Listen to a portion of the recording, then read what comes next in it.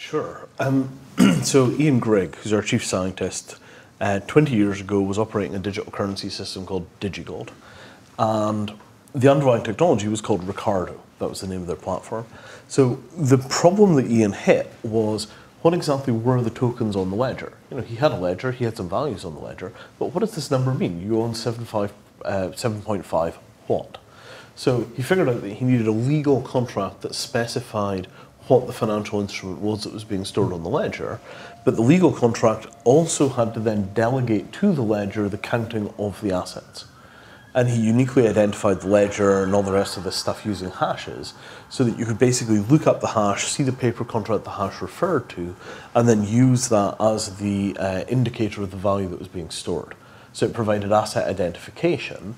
And then because it looked so weird, he then connected it to an arbitration system so that you wouldn't have the risk the court wouldn't understand what was happening.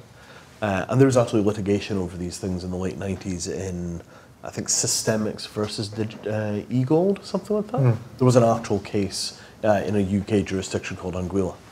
Um, so that bridge building where you use contract law to specify that a specific register will store um, the the assets associated with a specific contract seems like a fairly clear instance of just we we note that we're going to use this piece of software to do the record keeping. Mm. Um, and similarly, the asset identification, if the paper contract can correctly identify the asset, in theory, it ought to be able to indicate how the asset will be disposed of.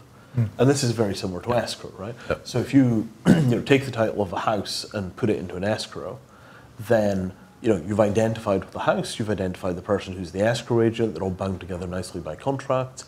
It ought to be pretty easy to figure out that you could then put a computer somewhere in the loop and legally nothing would change.